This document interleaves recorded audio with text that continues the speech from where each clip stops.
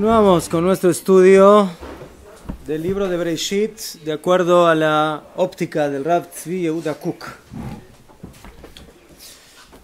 Eh, estuvimos viendo Abraham, Yitzhak y Yaakov, analizamos sus personalidades, sus características, pero Abraham, Yitzhak y Yaakov terminan en los Shvatim, en las tribus de Am Israel.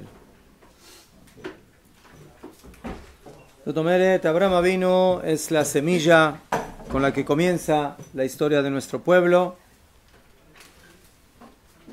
Pasamos por Yitzhak, llegamos a Jacob, que es básicamente la, conse la, consecuencia final, el tercer patriarca, el tercer padre de Am Israel. Y ahí pasamos de Jacob a su familia, que a los Shvatim, a las tribus. Y cuando nosotros empezamos a estudiar sobre las tribus en las Parshiot, como ya recordamos, el libro de Bereshit, el Rav Tzudá Kuk los divide básicamente en parejas. La primera pareja, Bereshit y Noach, es la prehistoria, desde el comienzo de la historia, pasando por Adama Rishon, siguiendo por Noach, hasta la época del Mabul, del diluvio. Después pasamos a las parshiot de Lech Lecha, Vayera, las parshiot de Abraham Avinu. Después eh, seguimos con Hayei Sara, Toldot, parshiot de Yitzhak Avinu. Vayetze Vaishlach, la historia de Jacob, pero ya ahí empiezan a nacer los hijos de Jacob. Y las últimas cuatro parshiot del libro de Bereshit.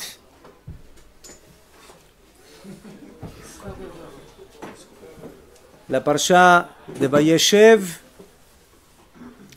Miketz, Vaigash y Vayechi, que son cuatro parshiot que nos hablan de la historia ya de las tribus, de los hijos de Jacob, donde encontramos a los hijos de Jacob tanto a nivel personal, particular, cada uno, y por otro lado, encontramos... ¿Qué pasó?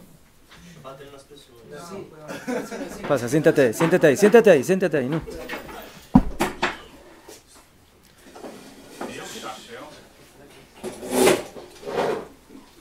La historia de los hijos de Jacob a nivel particular y a nivel ya como la primera semilla para formar la nación de Am Israel.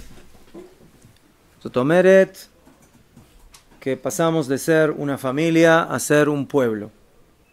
El pueblo se forma después en el libro de Shemot en, eh, en Egipto. Pero ya tenemos la semilla. Kabumán, que uno de los temas principales que nosotros estudiamos en estas parshiot sobre los hijos de Jacob es eh, el tema de la lucha, de la disputa que hay entre los hermanos. Tomeret, nosotros empezamos a ver de que en esta mishpacha, en esta familia, hay muchas cosas complejas. No solamente complejas a un nivel pashut, aparentemente de una mishpacha, de una familia normal, sino cosas que ya pasan a ser más fuertes. Eh, encontramos lo que hace Reuben cuando, según Jajamim, él no puede soportar que Jacob, después de que fallece Rachel, en lugar de poner su cama en la tienda de Lea, lo hace en la tienda de Bilá, de la Shifja, de la esclava de Rachel. Y por eso, según Jajamim, él cambia el lugar de la cama de su padre para de alguna manera demostrar de que él no está de acuerdo con la actitud de su papá, hasta tal punto que en la Torah eso está escrito como si Jacob hubiera, eh, como si Reuben hubiera mantenido relación con Bilá. Pero el tema más fuerte, sin ninguna duda, es la mahloket, la discusión, la disputa que hay entre las tribus de Lea y de Rachel, principalmente con el tema de la venta de Yosef. ¿De qué era? De Yosef. Cuando lo venden a Yosef, cuando lo tiran al pozo. Ah. Yo entendí venta. Venta, venta. Venta. Vender, vender. ¿Qué? ¿Qué? ¿Qué? Entonces, cuando nosotros leemos esta historia, siempre nos entra la pregunta, ¿no? ¿Cómo puede ser? ¿Qué pasó aquí? ¿Cómo puede ser de que los Shivtei Ka, Shivtei Hashem, los que formaron a la nación, al pueblo de Israel, Anashim Kedoshim, Elionim, personas bemet, bemet que están en un nivel espiritual tan elevado, ¿cómo puede ser? Que llegaron a hacer un acto que en una familia normal esas cosas no suceden. Afilo que hay hermanos que están peleados, pesada, nos peleamos, pero luego nos amigamos, luego nos volvemos a hacer las paces, nos conciliamos. Entonces, Dafka, porque las cosas son tan duras y tan difíciles de comprender, eso nos exige de que dentro de todos esos sibujim, dentro de esas situaciones, se va a revelar aquí algo que es muy grande, algo que es muy importante. Cuanto más complejo es, el, es la situación, cuanto más difícil es la situación, cuanto más profundo es aparentemente la, la, la disputa, la, la, pelea, significa que aquí se está, ¿sí? en el fondo se está construyendo algo que es algo muy importante. Cuando las cosas son simples, entonces, bueno, las peleas son simples. Cuando las cosas son fuertes, profundas. Aquí se está formando a Am Israel. No se está formando aquí cualquier cosa. Estamos formando aquí la nación que va a representar a Kadosh Baruj en el mundo, que va a recibir la Torah, que va a entrar en Eretz Israel, que se va a transformar en la nación que tiene que manifestar la unidad de Akadosh Baruj en el mundo. Entonces aquí los átomos, las células que van a formar a este pueblo, Rubén, Shimon, Levi, Yehuda, etc. Son átomos muy especiales. Son células muy poderosas. Cada una por sí sola y por supuesto todas juntas. Hay mucha energía, mucha fuerza espiritual, mucha luz que se tiene que manifestar. Entonces, cuando uno empieza a leer el libro de Bereshit y llega siempre a Parshat Vayeshev, mejor, y lo que pasó con Yosef, y que él empieza a contar sus sueños, y que lo odian, y que lo envidian, entonces uno piensa cuentito de hadas ahí, bueno, los hermanitos se pelearon y no se querían, y lo agarraron y ah, te vamos a tirar al pozo, ahí te vamos. Señores, estamos hablando aquí de cosas serias, de cosas muy profundas. Entonces, Najón de que dijeron Jajamim en Mikra Yotzed Midei Pshuto. Najón, hay un nivel de pshat, de entendimiento simple en el pasuk. Pero vadai que en una cosa como esta, en este tipo de temas, en el libro de Bereshit, cuando estamos hablando de la formación de lo que va a ser Am Israel, tenemos que analizar esto begadlut, con grandeza, con profundidad. Y Pashut Meot entender, estamos aquí hablando de la formación del pueblo de Akadosh Baruj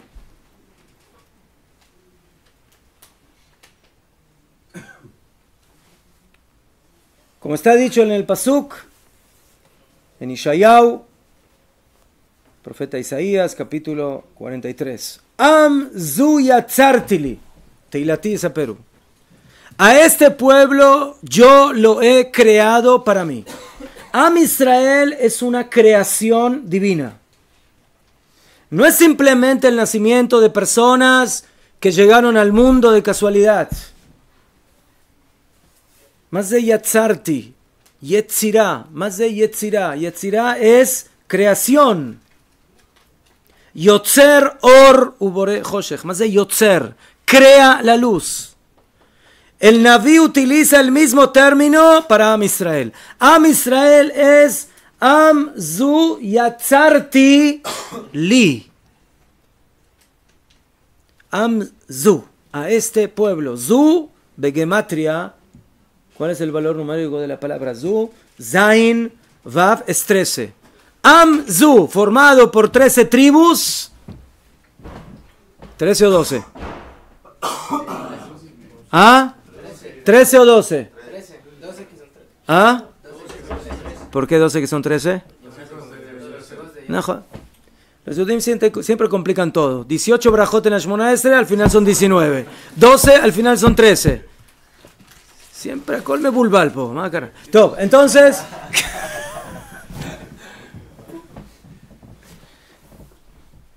Trece tribus. Kamuban, Efraim, Benashe. Son una Yetzirah Elokit. Y esa Yetzirah, esa creación divina, es una Yetzirah que tiene 13 componentes. Ni uno menos, ni uno más. No puede faltar nadie. Por eso cuando lo tiraron a Yosef al pozo, Jacob vino estaba tan acongojado, tan triste, tan... Bueno, aquí no es lo mismo tener uno y perder uno que tener doce y perder uno. Es un hijo. Najón era el preferido, era el... Pero Jacob vino entendió. ¿Sí? El puzzle de Am Israel tiene 13 partes, no puede faltar ni una. En ese momento 12. Si falta una significa que yo fallé, que no estoy completo, que algo aquí no funciona. Y por eso la formación de Am Israel tiene que incluir a todos los Shvatim, todas las tribus sin excepción, cada una de las partes. Ustedes saben que en el desierto había banderas, el, el pueblo de Israel estaba organizado. ¿Cómo estaba organizado? La caminata en el Midbar con tribus y cada tribu tiene su bandera. No puede faltar una bandera. Tienen que estar las banderas de todas las tribus. Tres, tres, tres, tres. Van la tribu de Leví en el medio? Para que sean tres en total. En la próxima parsha de la, no de esta semana, parsha Tetzaveh, vamos a leer los begadim del Kohen Agadol. ¿Qué tenía el Kohen Agadol? Una de las vestimentas, ¿cómo se llamaba? Hoshen. ¿Y qué tenía el Hoshen? Las doce piedras. ¿De quién? De todas las tribus. ¿Ah? Sí, pero ahí figura Yosef. Ahí Bemet figuraba Yosef. Entonces, ¿qué hacemos? No puede faltar ni uno. No puede faltar ninguno. ¿Sí? Cada uno tiene su piedra. Cada uno tiene su degel, su bandera. Cada uno tiene su fuerza, su característica, su neshama. Tenemos que entender.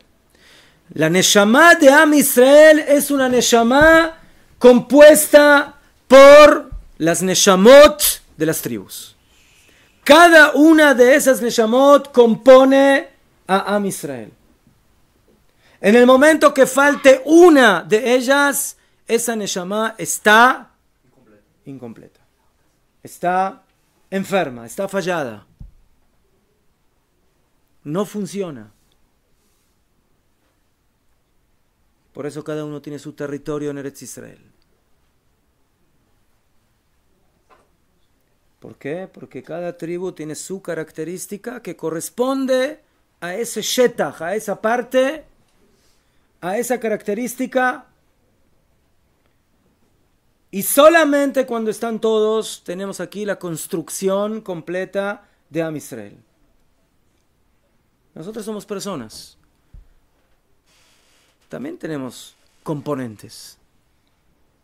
Tenemos corazón, tenemos cerebro, tenemos ojos, tenemos oídos. Y cada uno tiene su función. Y no podemos decir, bueno, nos, nos arreglamos sin orejas, o nos arreglamos sin lo de ama, sin una mano, sin un... En el cuerpo tiene que estar completo, el organismo se manifiesta en base a sus órganos de manera completa cuando está completo y no cuando está incompleto.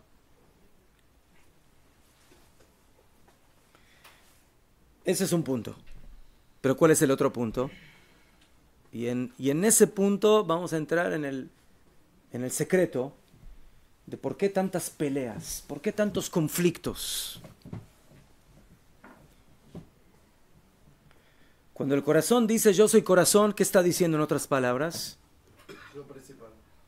No, lavdavka. Yo soy corazón y no otra cosa. Solamente corazón. Cuando viene el ojo y dice yo soy ojo, ¿qué está diciendo? Ojo. ¿eh?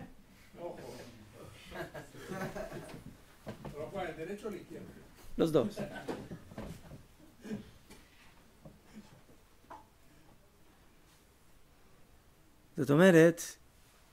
Es importante de que todos sean partícipes del organismo general pero no menos importante es de que cada uno cumpla su función de acuerdo a lo que es. Porque en el momento que uno diga, bueno, ¿sabes qué? En lugar de ser ojo voy a ser pierna, o en lugar de ser pierna voy a ser oído, Gamzelove, tampoco eso funciona.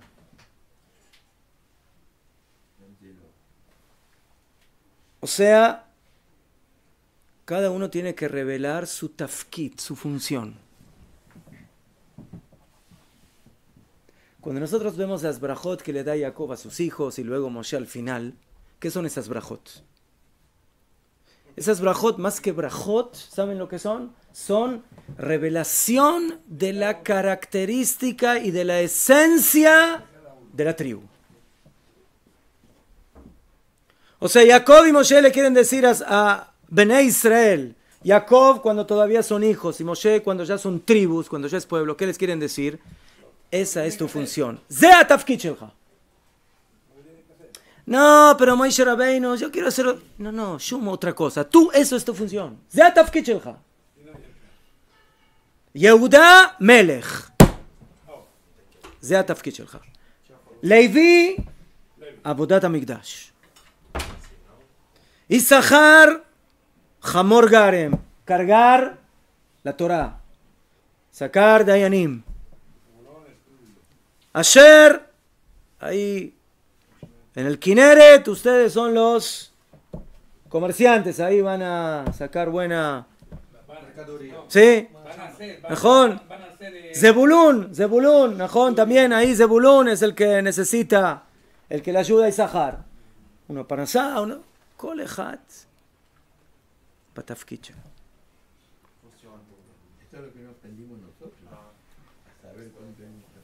Entonces, esos son dos puntos muy importantes que hay que tener claro cuando empezamos a estudiar la historia de los Shvatim. Primeramente, que los Shvatim son un todo, son un organismo, son la plataforma de Am Israel pero en una plataforma cada uno tiene que saber cuál es su función. Pero ahí Dafka es cuando viene el problema. cuando, porque cuando uno quiere demostrar cuál es su función, a veces lo hace de una manera tan fuerte y tan clara que quiere demostrar no solamente lo que yo soy, sino lo que tú no eres. O sea, yo no soy tú. Yo soy yo. O sea, ¿cómo uno manifiesta lo que es muchas veces? Negando a quién? Al otro. A veces negar al otro puede ser de una manera tranquila. Pero a veces cuando las cosas se tienen que formar de una manera tan profunda, tan energética, tan espiritual, a veces las cosas son muy duras. Son tan duras de que nosotros queremos negar de manera absoluta. Ani de ani. Yo soy lo que soy, lo que es mi función, lo que es mi esencia, y lo quiero demostrar para negarte a ti. Para que no haya ninguna confusión que Yehudá no es Yosef. Y que Yosef no es Yehudá. Y que Reubén no es Shimón y que Shimón no es Leví. Esas son las dos maneras de cómo demostrarse a uno mismo. Una es, yo soy yo, yo soy Reubén. Otra cosa es, tú Shimón no eres Reubén. ¿Es malo? ¿Ah? ¿Es malo? Yo no digo que es malo. Yo digo que es lo que es. Que así funciona muchas veces. Cuando en una... Fa ¿Eh? Porque no se termina de entender que la sumatoria es uno. Mejor. Mejor. Eso es por un lado, que la suma es uno. Pero por otro lado, sí, Bemet la gematria, la gematria de 13 es Ejat. ¿Sí? Aleph, Het, Dalet es 13. 13 tribus, que es una. Pero muchas veces cuando cada uno de los componentes quiere demostrar que él es ese componente, llega esa- ese conflicto de tratar de... Eh, ¿ma? Delimitar, Bediuk. No te metas en mi territorio. Pero a veces no te metas en mi territorio es un poco fuerte, es un poco duro.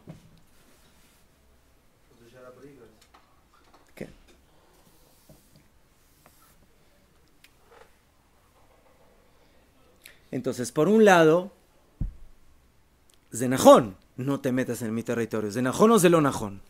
Zenajón. ¿Por qué? Porque pa- cada piedra tiene su posición en el Hoshen y cada tribu tiene su posición en el desierto y cada tribu tiene su posición en Eretz Israel. Zenajón Meot que cada uno tiene su posición. Y así tiene que ser. Y cada hijo en una familia tiene que tener su posición y nadie tiene que usurparle esa posición o quitársela. Pero muchas veces eso se quiere demostrar con tanta fuerza que lo hacemos a cuesta del otro. Pisoteando al otro. Insultando al otro. No con mala intención. Pero como yo quiero ser yo, con certeza, con alteza, con grandeza, porque eso es lo que tengo que ser. Yo tengo que ser lo que tengo que ser. Pero a veces eso es tan duro que Hasbe Jalila se puede provocar ¿sí? la ruptura. La ruptura.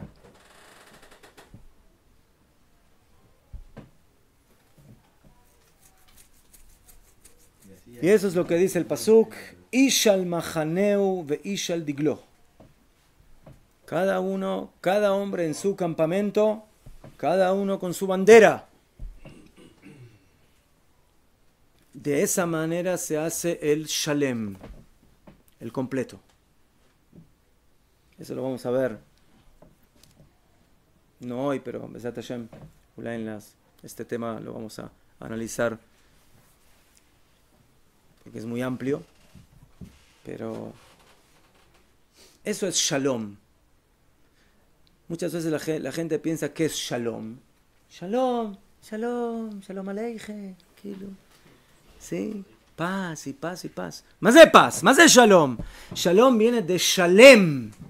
Más de Shalem, completo. Para tener algo completo que hay que tener todas las partes.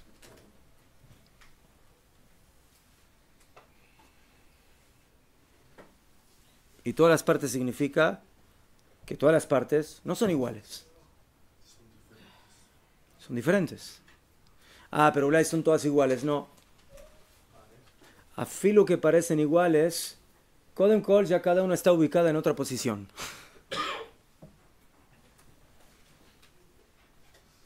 Posición espiritual, psicológica, ideológica. Pero todos pertenecen al Shalem. Y tienen que saber compartir y hacer Shalom. Sin que Compartir la unidad del pueblo. O sea, el, el secreto del shalom es saber mantener la identidad dentro de un todo completo.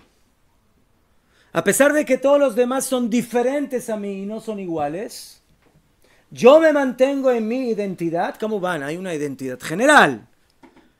¿Sí? Shema Israel, Hashem Elokeinu, Hashem Echad, en eso estamos todos iguales. Pero de ahí hacia abajo ya hay ramas. ¿Cómo yo manifiesto mi Shema Israel? De Kvar. משהו אחר. Uno va a ser Jochma, el otro Binah, el otro Keter, el otro Gesed, el otro Kiburá, el otro Tiferet, lo me como lo queramos definir.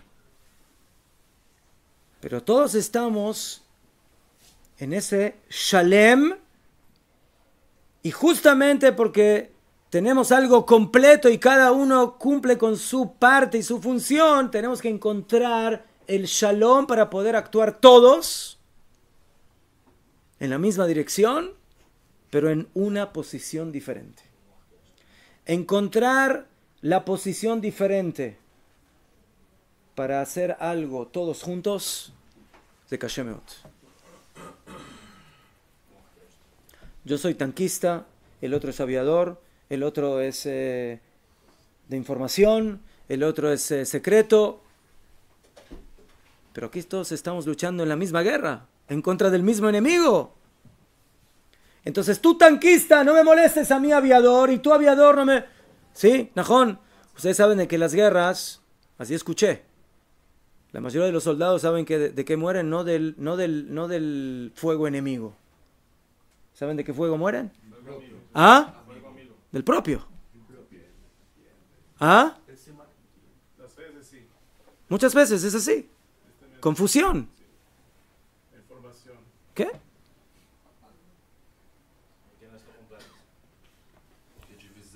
las tribus casar entre sí, dos tribus. Oh, Ine.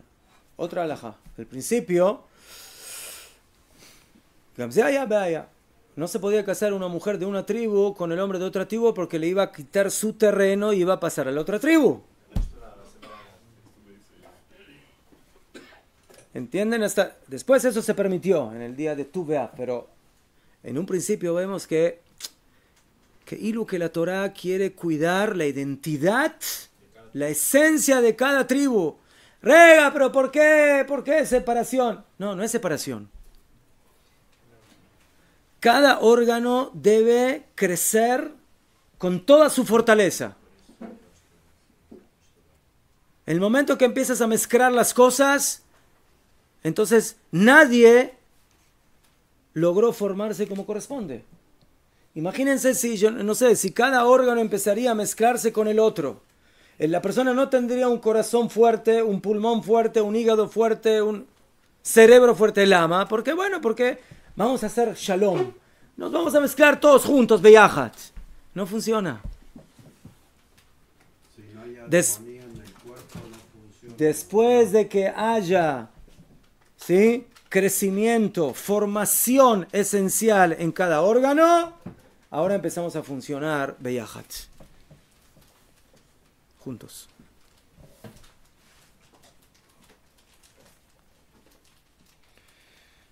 Entonces, luego de esto, regresamos a toda la historia, a ese odio tan profundo que la Torah lo denomina odio, que lo odiaron a Yosef y no le podían hablar y que lo envidiaron. Jajoliot, Beit Israel, la casa de Am Israel, se está formando en base a un odio, a un rencor, a una envidia. ¿De qué? De niños, de jóvenes.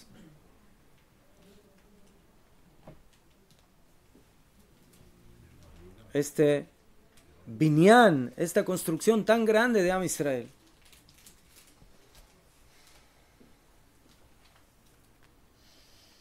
Entonces, el tema, el punto de toda esta historia es la especificidad.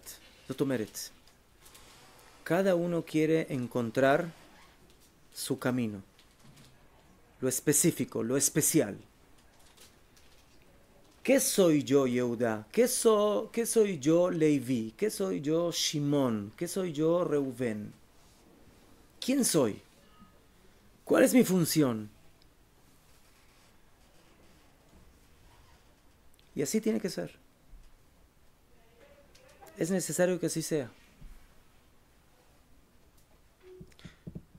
Fíjense que Afilu, en la creación, no todo se creó el mismo día, el mismo momento. Cada cosa se crea en otro día, en otro momento, en otra instancia. Porque cada uno tiene que tener su formación. El sol, la, la luz, la oscuridad, la tierra, el cielo.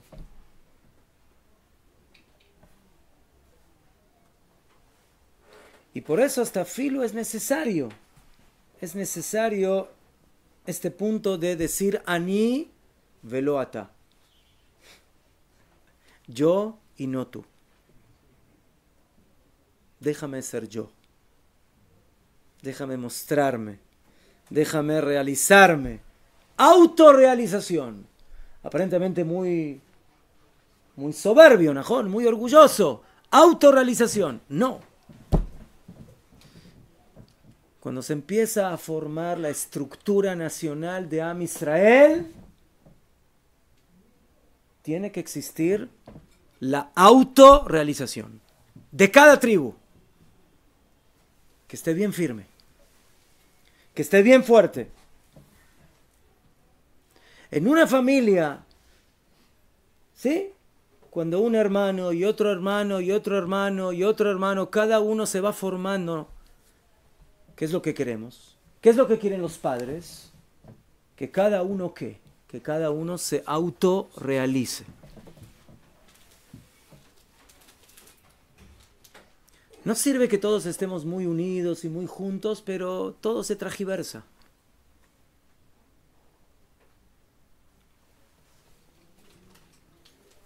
el ama, eso se ve mal.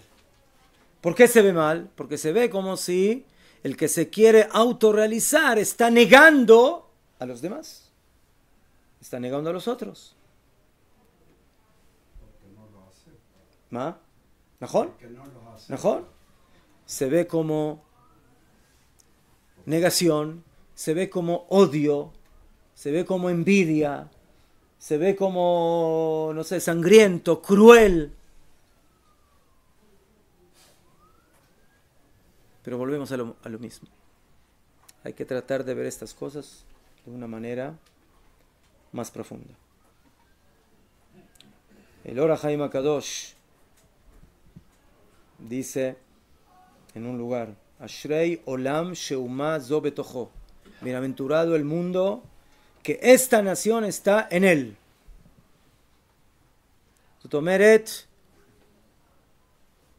La palabra Ashrei, bienaventurado. El mundo es bienaventurado, tiene una braja, como Hashem le dijo a Abraham Avinu, Veheye braja, tú serás braja. Am Israel es la braja de la existencia. Pero para ser braja, hay que crecer bien. Las piernas tienen que ser piernas, los oídos tienen que ser oídos y el corazón tiene que ser corazón. y el cerebro tiene que ser cerebro. Sotomeret, saber cuidar el tafkit, saber cuidar la función.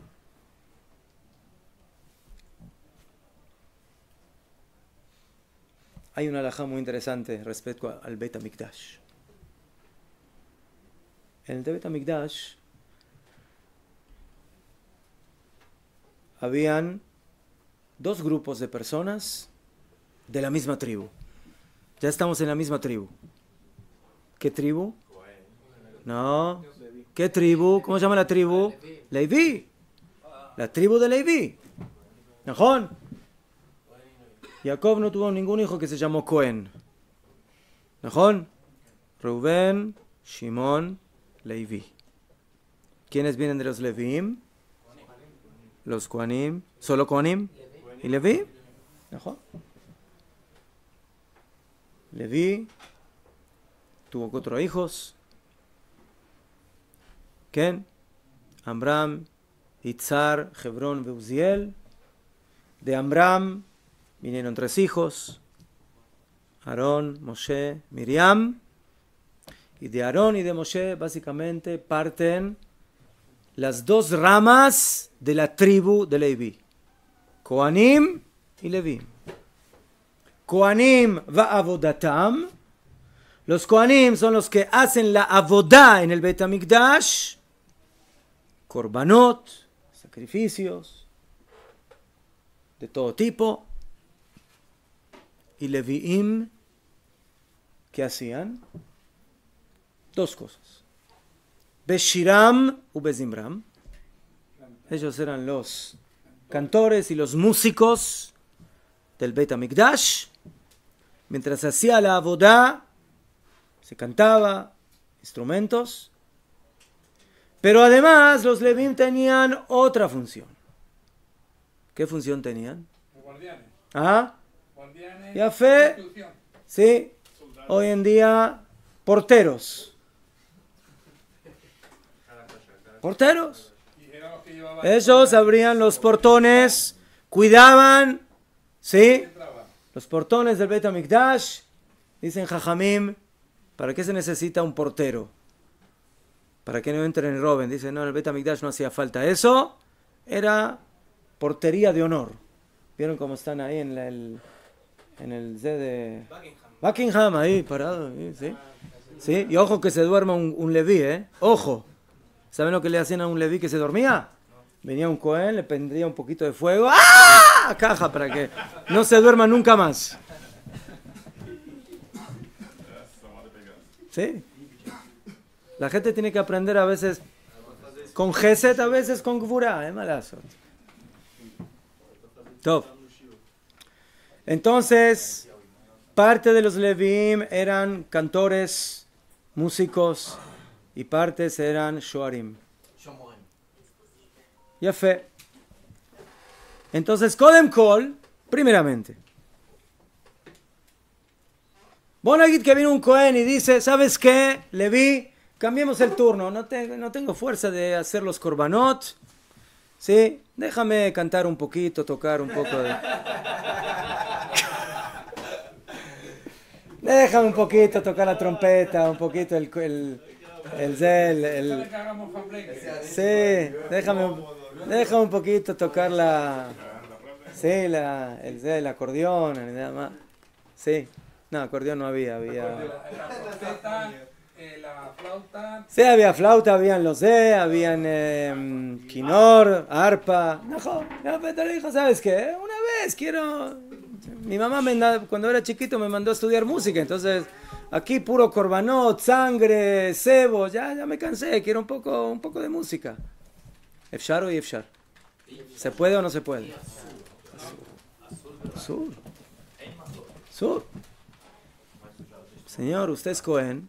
Zeu, esa es su, si usted quiere tocar música, toque en su casa, pero no en el Betamigdash. Y a su vez el Levi tampoco Badai no podía hacer la boda del Cohen. Avaló Raxde. A uno lo, lo nombraron portero y al otro lo nombraron músico. Y dicen, vamos a cambiar. Vamos a cambiar. ¿Mutar o Azur? Azur. Azur. En el momento que lo nombraron para esa función, esa es la función que tiene que cumplir.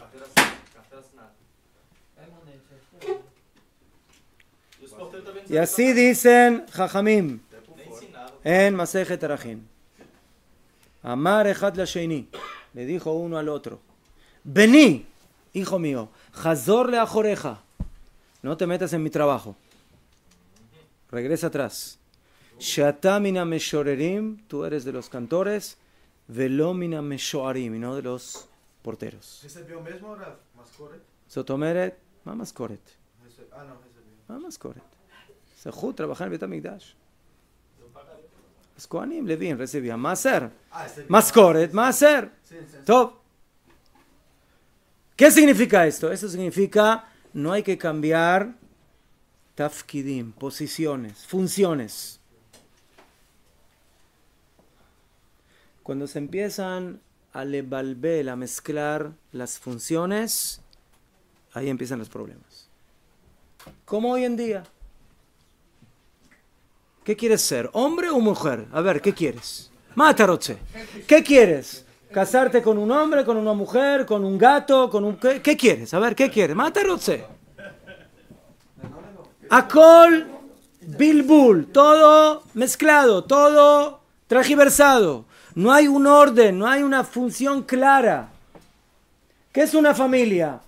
Una familia puede ser papá y mamá, papá y papá, mamá y mamá, perro y gato, papá y gato, ma- eh, papá y perro, acol y ajoliot. No hay claridad, no hay función, no hay exactitud. Haz mácara, que sea, que cante, mácara, déjalo cantar un poco. No, זה התפקיד שלו. esa es su función. אפילו en la ducha. אז יכול להיות que el año que viene o en otro משמרת, en otro, en otro turno, אז אולי בסדר, אולי van a cambiar. Pero cuando le tocó esa función, esa es la que tiene que cumplir. זה התפקיד. Las tribus tienen tafkidim, tienen funciones. Las tribus de Rachel tienen sus funciones. Y las tribus de Lea tienen sus funciones. Y las tribus de Bilha tienen sus funciones. Y las tribus de Zilpa tienen sus funciones. Como está escrito, como Rachel en, en eh, como Rachel y Lea que construyeron ambas la casa de Israel. Ambas construyen la casa de Israel, no mezcladas. Cada una en su posición. Rachel en su posición, Lea en su posición, los hijos de Rachel en su posición y los hijos de Lea en su posición. Cuando eso es lo que sucede, ahí se puede manifestar la unión. Como dice el dicho, juntos pero no mezclados, no revueltos. La vida revuelta es una desgracia. Cuando la vida es buena, cuando cada uno cumple, cumple su función. El papá de mamá, el papá de papá y la mamá de mamá, Najón están casados, pero no dejan de ser cada uno una persona. Hay unidad, hay amor, hay confraternidad, hay respeto. Pero cuando cada uno quiere empezar a hacer lo del otro, ahí empiezan los problemas. Entonces, por eso, en este shur yo lo que quise que entendamos es la importancia de lo específico, de la función que cada uno tiene que cumplir, de la idea de que ¿sí? cada hijo tiene que adquirir su musculatura, su esencia, su fuerza, su energía. Después de que eso sucede, entonces ahora podemos empezar a hablar de la unidad, pero como mal nos queda en el tintero entender por qué o de qué manera podemos profundizar y entender mejor cuando yo digo que yo tengo que ser yo mismo con mi posición, porque eso muchas veces tiene que provocar la negación del otro hasta tal punto de llegar a veces a Filu, al odio o a la enemistad, como lo vimos en las parshiot de los hermanos de so. Not